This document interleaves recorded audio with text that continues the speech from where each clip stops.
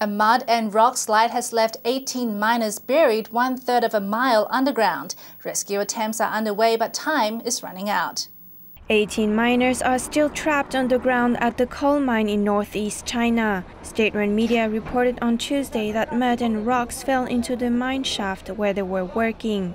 It happened in the state-run Zhenxing coal mine in Heilongjiang province. 25 miners were trapped at about 2.30 p.m. local time on Monday. Seven miners working near the shaft entrance were rescued, according to state-run media. The trapped miners were working one-third of a mile underground when the mud and rock slide began, blocking the shaft. Local officials said more than 200 rescuers have been mobilized.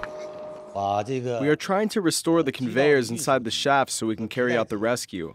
Our goal is to rescue the trapped miners at all costs. Oh, CCTV reported that an investigation into the cause of the incident is underway, but no details have been released. The mine is designed to produce 600,000 tons of coal a year. Lax safety standards combined with incredibly high demand have made China's mines the deadliest in the world. Accidents cause the deaths of thousands of miners every year.